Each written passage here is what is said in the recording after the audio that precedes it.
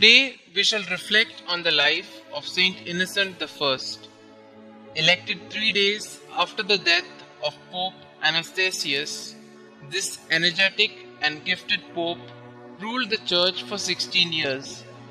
Innocent obtained from Emperor Honorius a drastic decree against the Manichaeans, Montanus, and Priscillianists while he was unsuccessfully trying to arrange peace terms at Ravenna between the Western Roman Emperor and Alaric the Goth, the latter captured and sacked Rome in 410.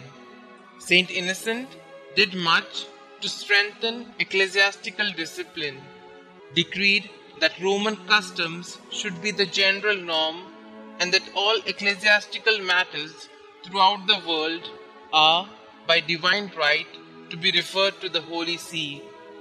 His zeal for the welfare of the Church embraced both the West and the East, but he was unable to get St. John Chrysostom reinstated at Constantinople because the Eastern Emperor favored the usurper Theophilus.